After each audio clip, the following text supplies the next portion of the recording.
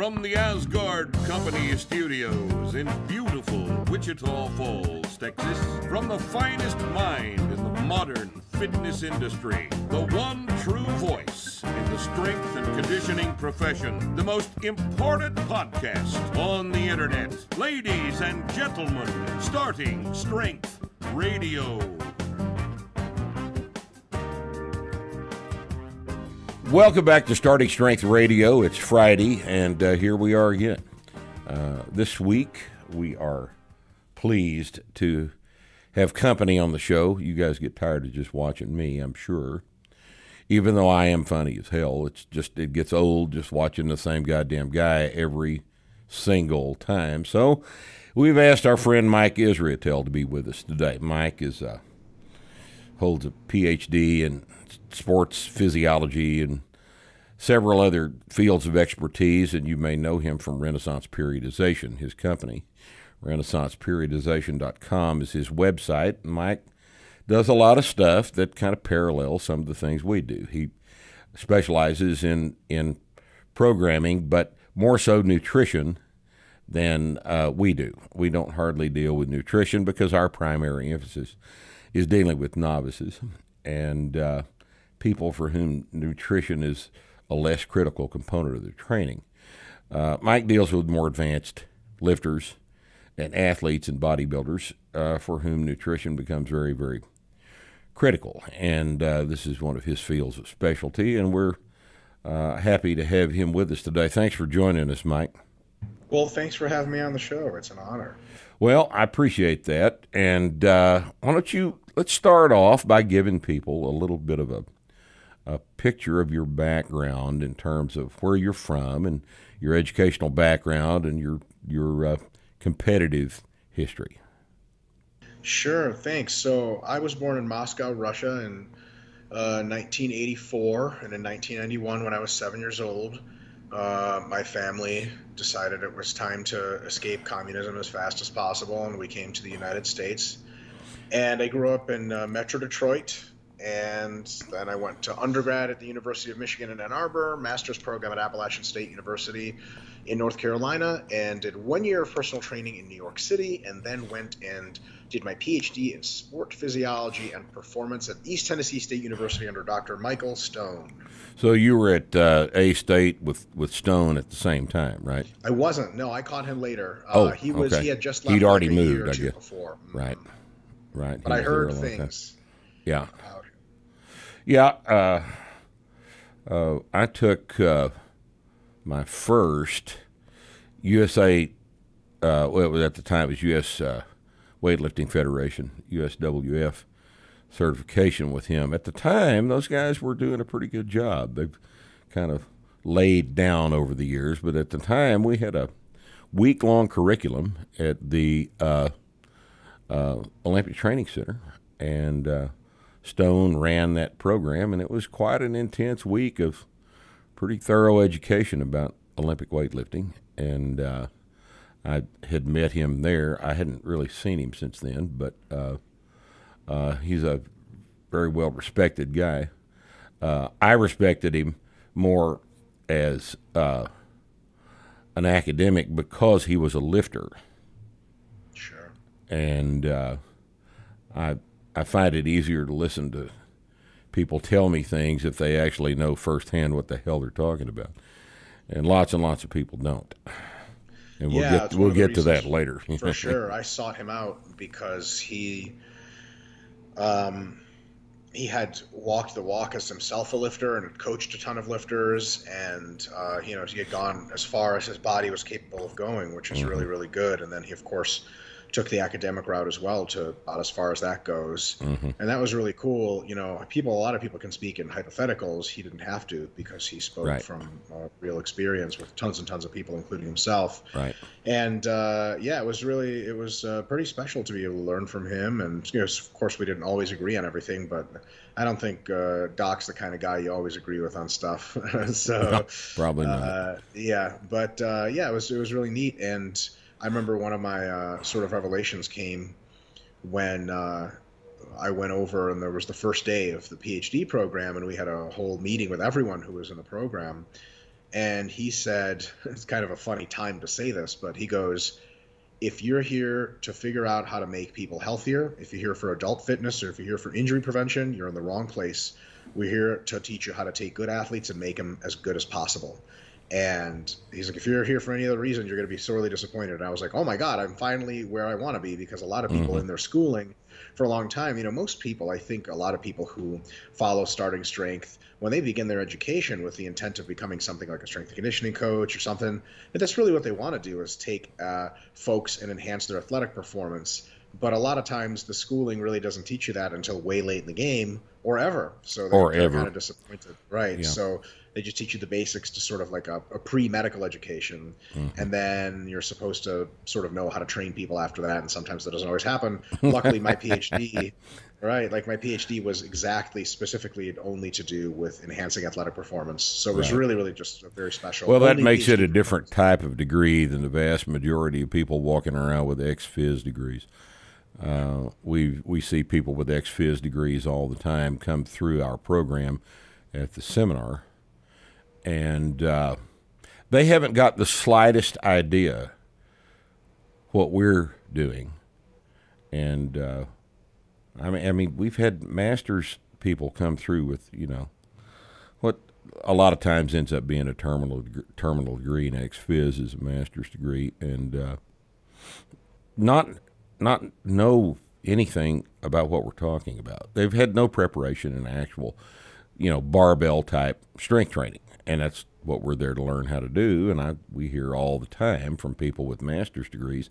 I've learned more this weekend than I have in my six years of of college about what you guys are doing, and we all understand the importance of the of understanding the basic physiology of uh, not just exercise, but of muscle contraction and all of the other things that we deal with.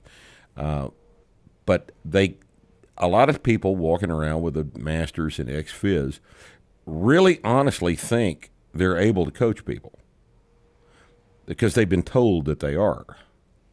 But when you get them in the gym on the platform, they're helpless. They have no idea how to coach any of the basic barbell exercises, and um, it's it's good that we know how to show them quickly. And you know they leave in a in a position to actually do the job that they thought they were prepared to do when they got out of school, and they're not.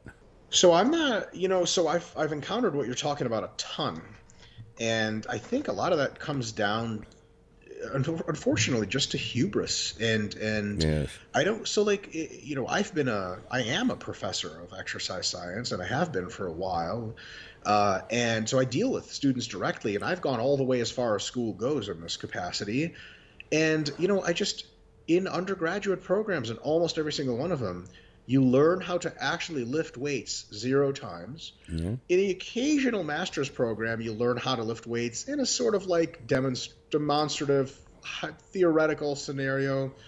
And, and maybe you'll have one class where you sort of learn how the lifts are executed and you learn a little bit about coaching. Um, our undergraduates at Temple University, where my colleague James Hoffman and I taught, he actually taught a class of like fundamentals of weight training. But like, uh, you know, no one after that class is uh, thinks they're prepared to be coaching folks at any remotely high level. They, that class is designed as a beginning mm-hmm. so that you can start exploring your own technique and uh, then after building up years and years of your own practice, you can maybe start to help others it's literally an introduction to the process. It's not right. like a stamp to say, here you go, teach other people stuff. So I think when people think that they've graduated from a degree um, in exercise science or exercise physiology or whatever, I think that's kind of like a sort of cockiness that they assume.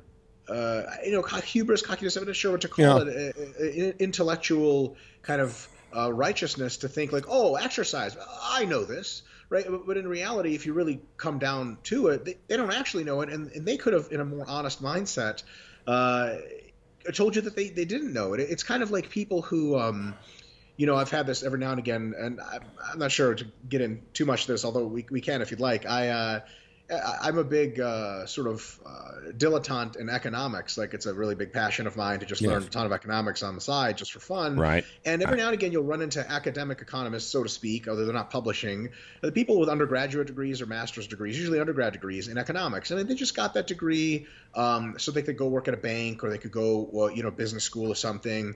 And because they got an undergraduate degree in economics, they sort of assume they know kind of everything there is to know about economics compared to a regular untrained person and I'll start to engage them in a you know maybe like this is a, a discussion over the internet about price controls or uh, about labor markets or something, and I'll ask them a few questions, and it'll be like, well, in my economics degree, and I'll be like, okay, can you explain that? And they can't, and right. I'm like, so can you explain to me supply and demand? And like they sort of like supply and demand, they sort of remember doing the equations and demand curves and flexibility and all that stuff, but they don't really know that specific thing because they were never really taught those general concepts in a ton of specificity. They were taught a couple of skill sets that were going to be useful in business school. So, in the same way, I think a lot of people with exercise science degrees just kind of make the assumption like, oh, it has to do with exercise. Uh, I know it. I know it.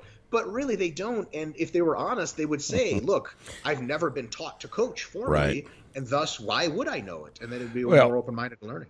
You know, it's an interesting interesting analogy because it is exactly parallel to the experience we have with people coming out of school uh, from an exercise physiology degree. They they they have the academics, and they've had the classes, and they understand what ATP does, and they understand the the the economics of muscle contraction.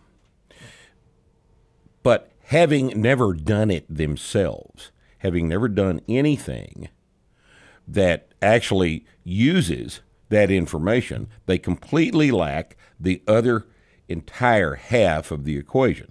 Uh, a bachelor's degree in economics has probably never run a business. And they don't actually know about supply demand. They don't know about what to pay employees and how payroll affects the bottom line and all this other stuff that they think they know. And until they actually get some concrete real world experience, they don't know anything about economics. And the same is true with ex phys degrees. Uh, these kids come out of school, uh, they've been hell, the program might even have been rigorous. Sure. But go over there and show me what is wrong with that guy's deadlift right now. And they have no idea what I'm talking about because they've, they've never, never done it, it themselves. They've never deadlifted themselves, and they've never taught anybody to deadlift. They've never thought about what makes a correct deadlift different from an incorrect deadlift. It's never occurred to them. Yeah. And uh, and I, you know, this is kind of a teaching barbell training is uh, most properly an apprenticeship based program. It really is. Uh, I think that uh, uh, a good coach ought to have at least tried to read through Brooks and Fahey. All right. I, in school, you, they should be. Anyway. They they should even if they're not in school. You can read yeah. Brooks and Fahey. You can go get a general physiology text. You can read the general physiology text, and then you can get Brooks and Fahey and you can understand the vast majority of that. And if you have that as your background, it kind of doesn't really make that much difference uh, whether you have a piece of paper that says you've read it or not. If you've got the information and you've got a good solid background in first, your own training, and second, in applying the things you've learned under the bar yourself to clients that you're working with you're so far ahead of a kid with a four-year ex-phys degree. You you you know, I I don't care about most of the academics that are involved in an ex-phys degree. An ex-phys degree, in the absence of having gone through Calc two, is not a science degree. And you know, you you just can't call it a science degree. It's Why most uh, because they're just most the vast majority of these programs completely lack any academic rigor. They they really do. You you've seen these before. I've, you've been associated with uh, better and worse programs, and if a kid is not able to work algebra problems, then he's he's not got a science degree. I'm sorry. Yeah, there's a there's a very big diversity of what qualifies as an exercise science degree, and some folks coming out of some of these degree programs, gee whiz, you know, they don't know a whole lot of anything. No. Some coming out are pretty sharp a lot of that depends on just the student themselves. Some students are really smart, really diligent, and everything that is told to them and that is taught to them, they absorb and integrate and think on their own, and then they really, really are super sharp and can catch on quickly. And other students just do sort of whatever it takes to coast by, or they're really good at mm-hmm. cramming for tests, and at the end of the day, they don't have any sort of integrative knowledge that they can sprawl out to other things. And I think mm-hmm. that's probably the best way to use a, either a degree or text that you've read on your own is if you teach someone with no physiology knowledge whatsoever about the lifts, they can parrot the lifts back. They can right. learn the system well, but in very novel situations or where creativity is required for their own programming, or let's say an athlete starts to accumulate a lot of fatigue under their training, and they're sort of not exactly sure what fatigue is, what its sources are, how to remediate it because they don't know the physiology, they're going to get into a little bit of trouble. So they can yes. be pretty decent coaches, but not creative coaches. What Absolutely. you can do, yeah, if you know the physiology, you're not ready to coach. But if you know the physiology and then you have lots of time being taught how to coach and lots of practice, at the end of that whole process, not only can you coach very well, but you can adapt your coaching, create novel scenarios, create different programming Absolutely. environments, and and then and then you're off to go. And it, it, interesting enough, like so, right now I'm teaching a, a graduate course in advanced strength and conditioning uh, program design, essentially for Lehman College under Brad Schoenfeld, and almost the entire thing is uh, the principles of training and how to apply them to the beginning of designing programs and I give very few specifics and very few templates, and I almost never say this is how to design a program. What I do is say here are the principles of specificity, of overload, of fatigue mm-hmm. management. Here's how biomechanics works in this regard. Now you go build me a program, and then when they start doing that, they actually have to know things. It's very easy for someone to be like, "Duh, three by five. That's what we're doing," and it's like, okay, why five and not six? Why five and not four? Why three? Why not four sets? Why this? Why that? Why do we squat and deadlift this number of times a week? And there are very right. good answers to those questions, but if they can't even theorize them, like for example, someone could finish a course on uh, of some kind or some uh, apprenticeship in designing programs and say, okay, we squat once a week. Okay, okay, what would happen if we squatted twice a week? And they just don't know the answer to that question. And a good answer to that question could be as long as the volume load over the week is fine, then it's okay. As long as you accommodate it, as long as you properly separate the sessions, is fine. Or they could even say, you know, I think squatting two times a week is excessively fatiguing, especially over the long term to various connective tissues, and it's just not a good idea. Any answer denotes a higher order thinking about the systems involved would be right. amazing but sometimes people give you no answer at all. So I think just like there is a problem in academia of producing people who don't know how to coach but think they know how to coach, there's an equal problem in coaching certifications, usually the real fast ones that you can just take online right. that say like, "Hey, you know things and you really you just know one way of programming and you don't understand why it's designed that way and thus your ability to alter it or uh, adjust it to the individual is nil and then you sort of have another level of false confidence." And because some of those folks on that side don't know any physiology, when you ask them why, they didn't even know there was a. It's like asking me about right. computers, like why is Microsoft Excel crashing? I'm like, it's not my job to know that. I just call the phone number and they fix it. So right. the same way, I think the ultimate coach probably knows a decent amount of physiology and anatomy and so on and so forth, but must, must, must have that practical, real world. And I don't know. I'd love to get your opinion on this. Um, I think it. So something we're seeing, and you might have seen this yourself, is people will be very confident in coaching relatively high level folks or everyone with a profoundly small amount of training under their belt and coaching under their belt. Yes. Uh, and it's always kind of to me like, gee, you know, when I had so little training and coaching, I was coaching soccer moms for free and I was just trying to learn stuff and be right. a better coach. Some folks are very confident, you know, one month after they started coaching or they started training themselves, they're like, I'm taking new clients. And it's like, taking them where? oh, yes. Uh, I, pe- people do not understand. Uh, because there's not just a lot of academic depth in the pedagogy uh, of uh, of movement science. Uh, people don't understand how very very important it is that when you are coaching an athlete and you are watching the person move in real time on the platform, that what you are essentially doing is filtering what you're seeing through the part of your brain that has done that same movement. You you have a filter that is being applied to what you're seeing. And if you don't have that filter, then the thing that is in fact the movement error being committed in front of you doesn't register as an error. You have no you, idea. You have no idea why that's wrong. You have absolutely no idea. And I can't brag on this video enough. If you go to our website, uh, Dr. Bradford has done a, a very, very important lecture at one of our previous coaching association conventions from years ago called The Coaching Eye.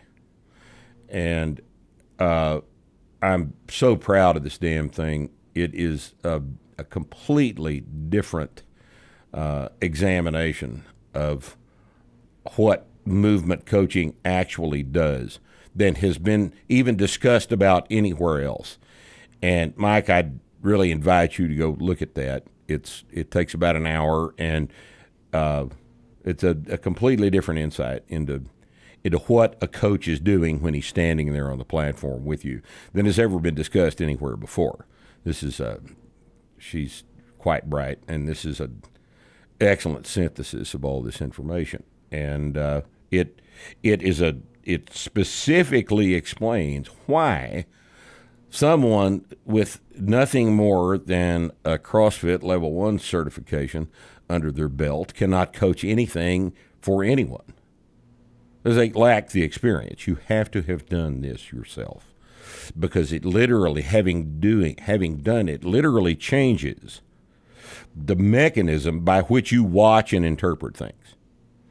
And I, it's it's a terribly important lecture, and I'd invite everyone to look that up. It's called The Coaching Eye, and it's on our website at startingstrength.com. Sounds really good. There's also like uh, to me, there's um, there's another layer that we can discuss about not just the sort of at face value biomechanics of a lift conducted mm-hmm. for several repetitions. That, of course, has its own wisdom and insight that you need to apply. Mm-hmm.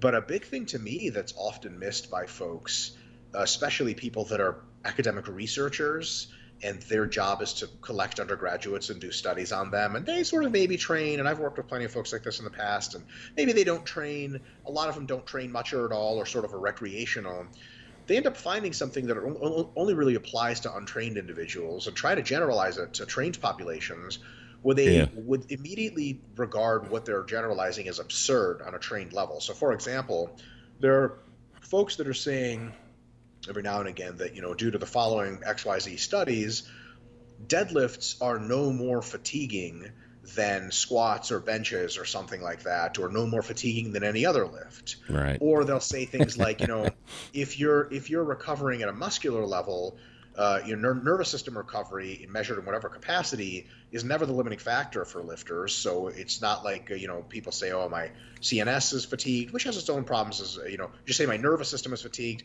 They, they say that that's really not a thing. That's more a thing for endurance runners, and lifters shouldn't run into that. Well, you know, I don't think those folks ever tried, and I have tried a few times to do a mesocycle of five to six weeks of accumulating load sometimes accumulating volume, twice a week hard deadlifting, sets of five to 10.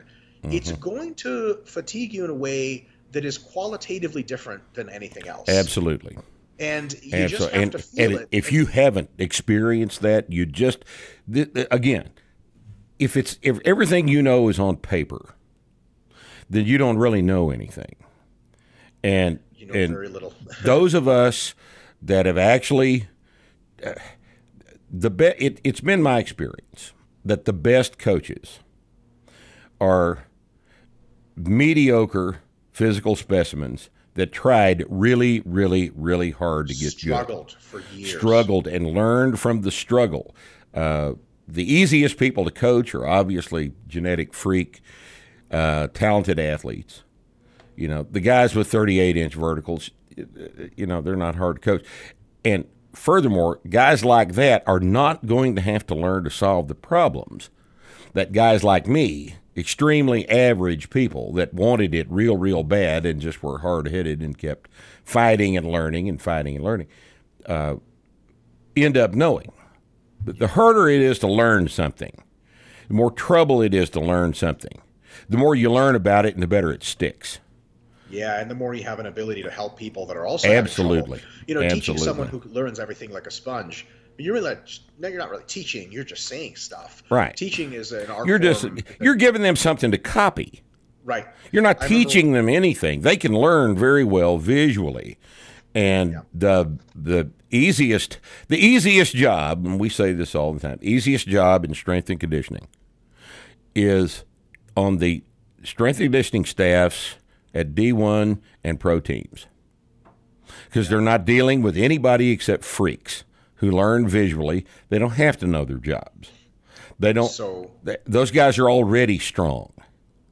They're already was, uh, explosive and fast. They already yeah. learn visually. You don't, and by extension, if if the general public judges your ability as a strength coach from the performance of these guys, you're going to look like a genius every sure. single time. prestige. Yeah. Every single time. That's where the money comes from, you know. My That's, uh, experience was uh, I got an interesting story about this exact thing. So when I was uh, a sports scientist at ETSU getting my PhD, we were all strength coaches as well, and that's ETSU's D1. So it was one particular girl that I was coaching. She was a volleyball player, scholarship she had also gotten tons of full ride scholarships to go play basketball at a ton of schools. She just chose volleyball because it was the best deal and she liked it. Right. So this is a person that was good at pretty much every single physical task she had ever had to do her entire life. I don't just mean good, like all county in everything, just the best. She's right? a physical genius, as we 100%. say. So I remember one time I was trying to teach her how to do a stiff-legged deadlift properly, and I'm a huge stickler on technique. You know, if your back's rounding or, or your knees are coming forward, it's no bueno, all this other stuff and I taught her to do the perfect stiff legged deadlift in one repetition. She looked at me doing it once, and then she just did it. And you know, it's rare for us as coaches because right. what do we do as coaches? When an athlete does something, we kind of like secretly want to have some corrections. We're like, "Ooh, that's really good," but what you need to do. Imagine how kind of stupid you look as a coach, or brilliant, if like the athlete does it, you're like, uh, "That's it." Like I literally have nothing mm-hmm. to tell you. That was flawless. And right. then that same person who was actually a, a, really great student as well, she ended up going and coaching volleyball players in strength and conditioning later as part of an internship, but she went to an NAIA school. And she came to me at one point and was like, I have no, I, I'm struggling because I'm trying to teach these girls how to do the movements, and I had no idea you're able to screw up a movement this bad. And I was like, right. aha. She didn't know there was a problem to solve because she'd never had a problem. This is this is the this uh, this is such a big gigantic problem in modern strength and conditioning. Uh, coaching staffs uh, at these high level schools uh, that they they've got two problems. Either they themselves are extremely good athletes and have never had problems to solve, or they themselves don't have any experience dealing with people who have problems to solve and have never learned to solve them. The people that know the most about coaching barbell training are the people that coach 45 year old real estate brokers, people of average physical capacity. Because these are the problems. These are the people with the problems that you, as the coach, have to learn how to solve. And if you've never learned how to solve them, you just don't know. If you rely on the expertise of the recruiter to put 55 physical freaks in the locker room, there is hardly any way that after you having dealt with these people for three years doing everything wrong, they're going to be better anyway. Yeah. Because they went from 18 years old to 21 years old. Yeah. And they yeah, worked hard they and they got up. stronger and they're they're they're they're geniuses anyway. And this is what is wrong with modern strength and conditioning being predicated on on all this uh, all these different physical movements that are merely displays of athletic ability. Yeah. Those kids don't develop athletic ability. They've already got athletic ability or they wouldn't be in the program. What you don't know how to do is make this genetic freak stronger by lifting heavier weights because you don't know how to teach them how to lift heavier weights. You don't know how to program that stuff. And it's much easier to show them a new exercise today with a one pound or with a five pound dumbbell on an unstable surface than it is to, to spend the time getting these kids from a 275 deadlift to a 495 deadlift. Yeah. There's another problem there as well that compounds the issue, I think. Um, there's another uh, type of coach that is maybe one of the best types of coaches and knows the most, specifically in this area. It is a coach in a barbell specific sport that deals with what I would describe as free agent athletes, mm-hmm. uh, like a powerlifting coach, something like someone like one of my friends, uh, Chad Wesley Smith. So someone like that, people is a very very high, highly regarded coach. He's coached a ton of world team members, world record holders, et cetera, et cetera, in powerlifting specifically. And mm-hmm. his colleague Max Aita has coached them in weightlifting. And what ends up happening with these guys is they're the guys uh, you come to when you're already really good, yes. but you're not the best, and you want to be the best, and they have an incredible challenge because anyone can take an, an unreal talented athlete and just sort of like like you sort of intimated watch them blossom into what they would be anyway. Right. But when everyone around you is a talented athlete and they're competing against each other it just being amazing doesn't quite cut it. So then that coach has to take amazing and take it to the next level. At that point not everything works. You can't take talent for granted because talent isn't good enough what ends up happening, unfortunately, so in the private arena, that tends to happen, and coaches like that tend to rise to the top. Unfortunately, in strength and conditioning coaching, you have at least two things formal. Let's just talk about formal football strength and conditioning in the United States. I'm sure you're quite familiar with it. Mm-hmm. There are two additional problems that I can foresee. One is there's a huge incentive I would say in some cases disincentive because it goes out of whack to just don't get them hurt. Just don't get them hurt. Right. And the risk to reward goes out the window, and you're like, why are we going to push these guys in the gym if I can just rely on them being awesome already, not get them hurt because the coach will fire me, well, and then you're describing a, pro coach. You're describing S and C at the professional level. It's babysitting. Hundred percent. And then in addition to that, you have a misunderstanding of the role of strength development at the very top of athletic directors and sport coaches that hire these coaches. And a lot of times they'll hire coaches for really uh, not great reasons. Like, this isn't a guy that can get my guys violently strong while keeping them reasonably safe. Mm-hmm. This is a guy that I knew in my undergrad program, or this is a guy that's a great motivator, or this is a guy that's right. a great team kind of guy. They'll listen to the coach, and so on and so forth. And a lot of times you get this old boys club mentality where there's neither the incentive to push the guys hard and try to really figure out how to make people strong, nor is there like, it, nor is that reflected in hiring. Because if you could imagine, if you were hiring a weightlifting coach for the United States of America, a real barbell sport where free agent athletes come and try to get as strong as possible, if you were hiring that coach, you would probably, if you were the president of the United States or something, uh, who ostensibly hires these people, right? You would be like, okay, I've got a bunch of coaches. Which one of these guys has the track record that actually has made amazing athletes even more amazing. That's what I want. Yeah. But when you look at football strength and conditioning, that's not what you're looking at. You're not even looking at like how the athletes begin and end in their program. Mark, who the fuck? Uh, can I swear in here? I hope you do. God Almighty, just who the, the who the fuck thinks that who? just because you have got great athletes in your locker room, that the guy that is standing there while these great athletes are wandering through the, the locker room is responsible for them being great athletes. Right. And there's also the question of when has there been a demonstration among these coaches you're hiring of uh, here's some science, take their athletes at freshman year, take their athletes at uh, senior year, or when they go do the combine, and see what the change in rate of what, strength. What is, is the change relative to what would have changed anyway, just due to four years of maturation?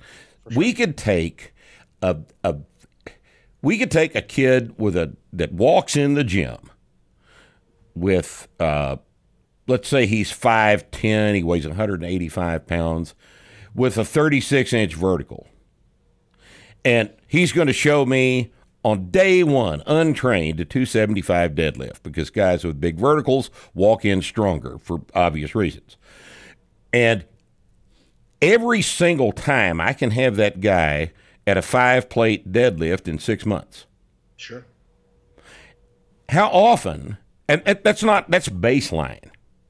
That's baseline. But how often is that demonstrated at the D1 and pro level? This, you've got that kind of genetics, and you yep. absolutely refuse to develop that kid from 275 to 495 because you don't think it's necessary.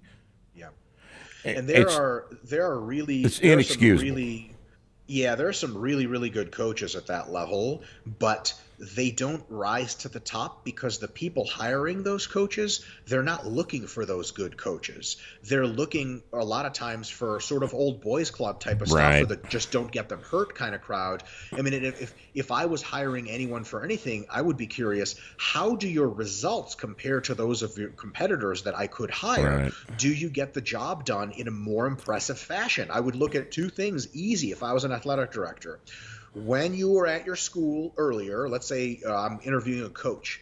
Okay, all of your athletes that you had at your school, what were their starting numbers for lifts? What were their ending numbers for lifts? And I would ask this, all the coaches that I interviewed the same questions, right. and I would expect data, and they would have to prove to me like how much better are Absolutely. And the second thing, the weight on is, the bar doesn't lie, does it? Yep. 100%. And then the second thing I would ask is what, let me see the injury statistics on all those folks as well. Yes. The person with the best ratio of getting athletes to improve versus injury rates relatively low, that's that motherfucker I'm probably going to look at, uh, you know, top three of, candidates. And then course. we'll see who I get along with best. But right. I'm hiring you for a result. And a lot of times the result really like, oh, everyone kind of in strength and conditioning in the football world, a lot of times people sort of assume like, oh, yeah, no, you know, you've been around a weight room, you've trained with good guys, you sort of know how this works. Now let's talk about the team building aspect or the fact that you're not going to. a bunch of sports psychology shit. So, sure. yeah, if you don't, or if you're asked that question, and your response to it is, well, it, you know, we didn't try to make their deadlift go up.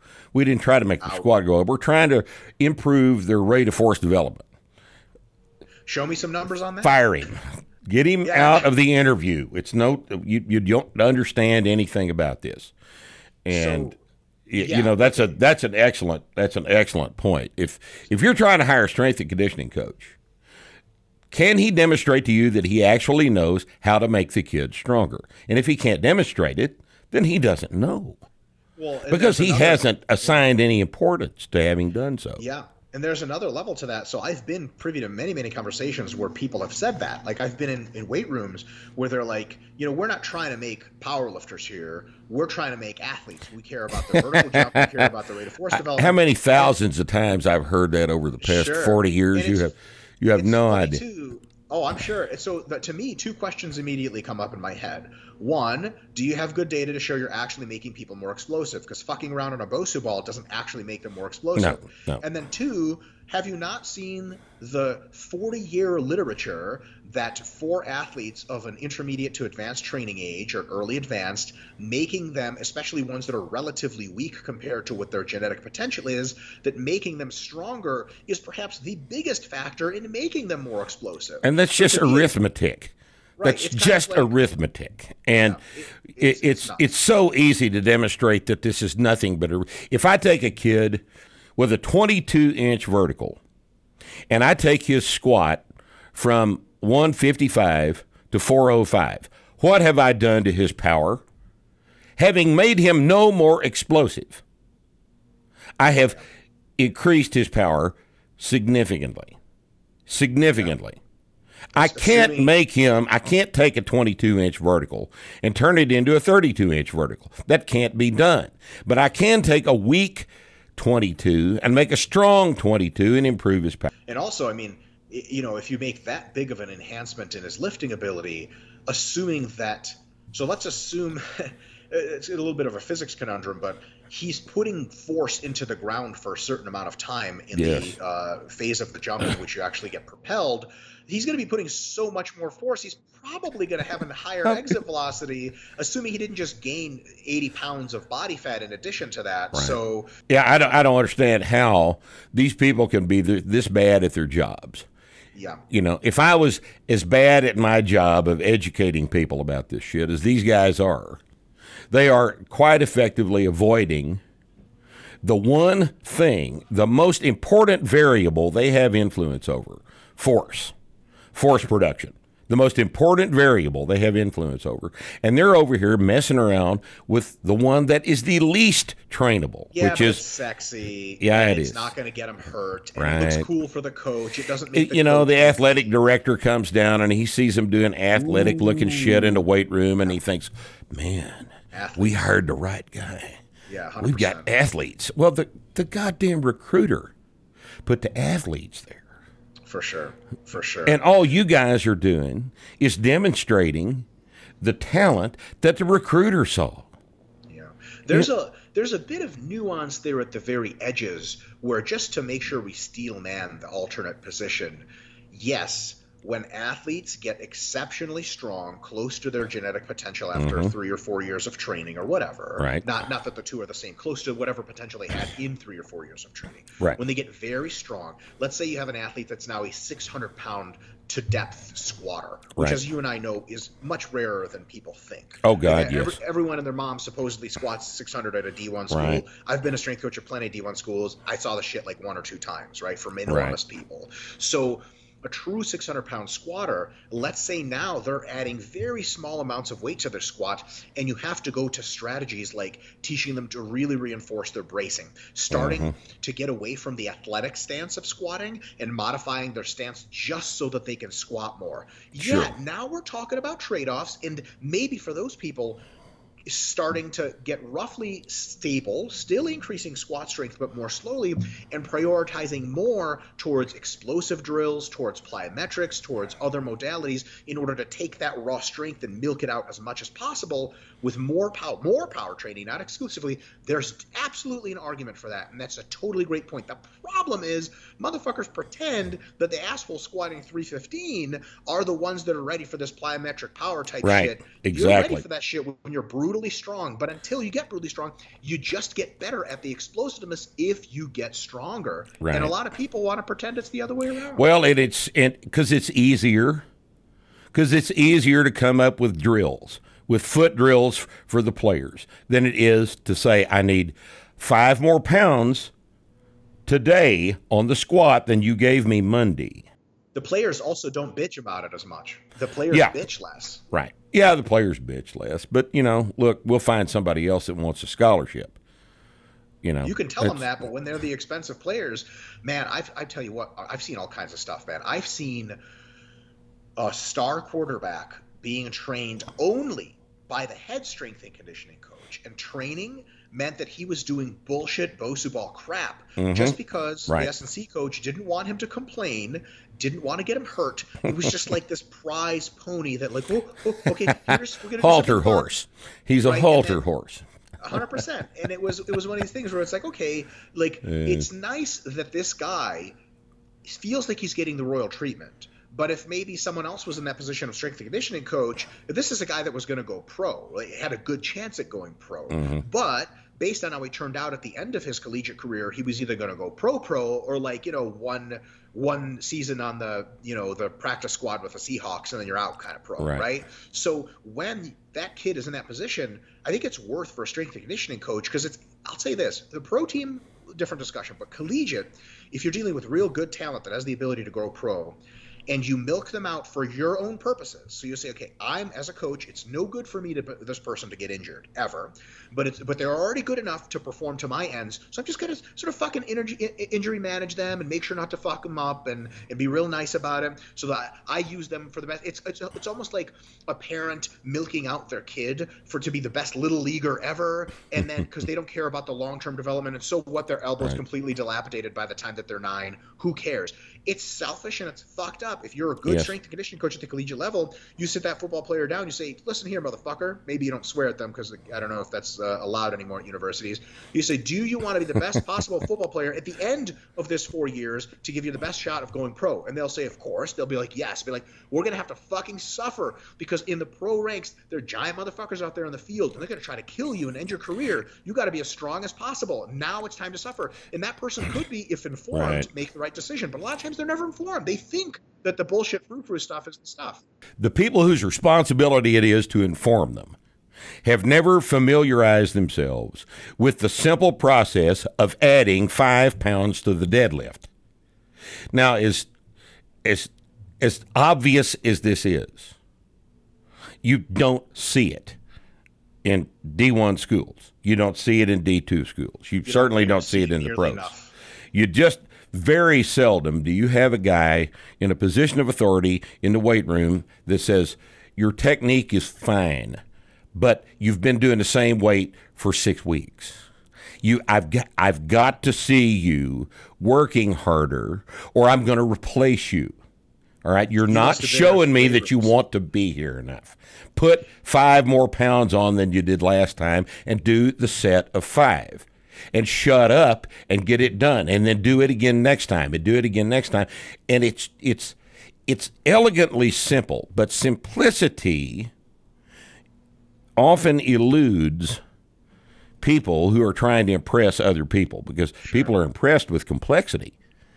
And Yeah. if the if the if the AD wants to come downstairs and go to the weight room, he wants to see complex looking shit Sure. because because that he doesn't know anything about this, and he you know, and you're going to try to wants to be impress him with his hire, Yeah. and and you know it's it's going to be hard to explain. Well, but I mean, he's doing the same thing as he was as he did last time I was down here.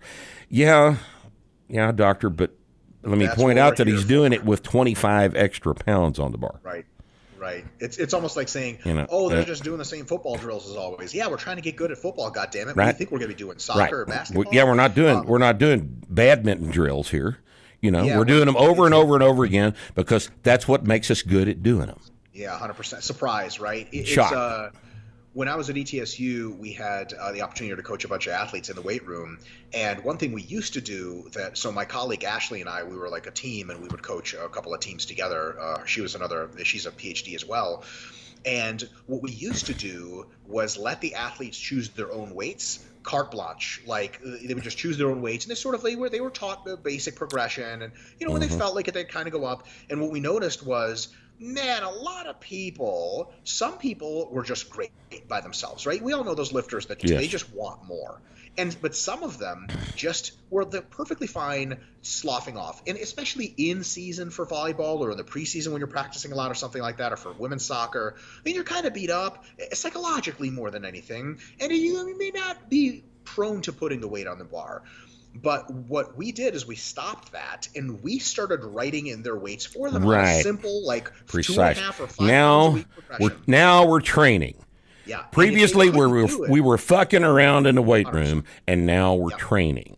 Yeah. Right. And if they couldn't do it, if the, so if they said the weight's too heavy, two things would happen.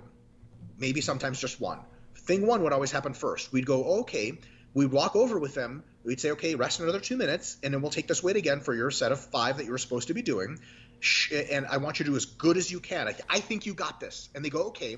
They just claimed it was too heavy. Usually, when they got a couple of strength coaches looking at them and a couple teammates, they get under it and, and, and just boom, boom, boom, boom, and it's it. Right. And we're like, okay, you're doing great. And then they believe in themselves more and everything's fine. Now, if they have reached their, you know, what I would term maximum recoverable volume or something like that, or they're just way too fatigued, it is clearly, you know, it's possible just by addition of five pounds to exceed the athlete's physiological ability to adapt. It, sometimes it's just too much. It really Right. is. And that, it, get on the obviously, more of a problem the more the advanced the athlete is. Exactly. So when they do do that set and they are actually overreached, they get three grinder and then dump it. They're supposed to get five. We go, hey, okay, no big deal. And then we start the fatigue management process, giving them a, a nice, easy few days, and then uh-huh. start building back up. But you got to prove to us that you're not just at the end of your rope psychologically. Right. You got to prove to us that like physiologically something's happening. They don't know that. They just think Right. they're on the spot. And nine Right. times out of ten, they perform, and it's You- no big deal. You're going to have to demonstrate to us that it's not just because you don't want to. Hundred percent. Because that's Right. unacceptable at a Division One level. We No. would literally tell them that. At the This is your the year, job. Multiple times, you are trying to become a dangerous wild animal. You're trying to become an inconvenience to people. People don't want you to be strong. We had a lot of the girls on the team towards the end of our uh, time with them when they would hit the ball, it would sound like like a boom instead of like a slap. And like when you hear that boom in women's volleyball, everyone else is like, "What the fuck is going on?" Like, I don't want Right. to get hit by that. I can't return that ball. Strength is amazing, but it's it's a tough road and it's a simple road and it's it's simple in its fucking monotony and brutality but the people that get the strongest and the most out of it they're the ones that can commit to the two and a half pounds to the five pounds. Right. that's another thing in my own training because i do bodybuilding training.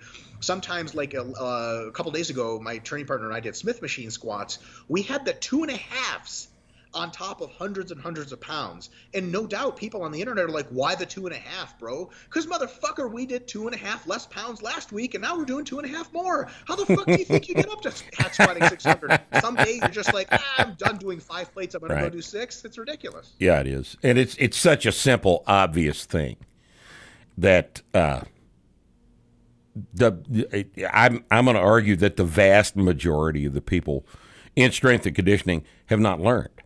They've either not learned it, or they don't like it, or for some reason they're not using this simple thing that has to be kept in mind. If you are stronger, you are better. And stronger means nothing more than two and a half, five more pounds. That's all it means. Now, the easy, the the longer you've been training, the harder it is to add that.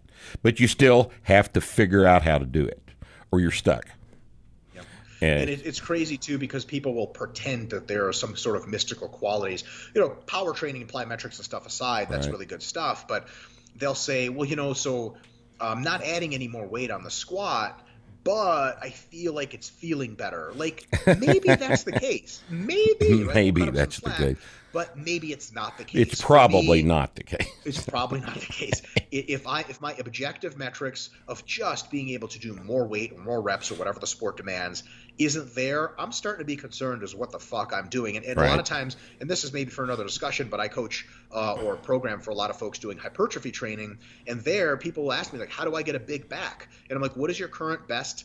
You know top set or top three sets of weighted pull-ups and or barbell bent rows done strict and they say it and i'm like if you put 25 pounds on both of those lifts slowly over time you can't escape having a big back. But they're looking for another answer. They're looking for like well Yeah. maybe it's my technique They want something this, easier, that. for sure. And some of those things play a role but at the end of the day if your barbell row moves up by 25 50 pounds over several years you can't you there's no way to get out of that Well, you and I can have a discussion about hypertrophy training sometime. I think uh, hypertrophy is uh, often gets thrown into some kind of little special category all by itself. But it's been my observation that if you take a guy from a 185 deadlift to a 495 deadlift, his back got bigger.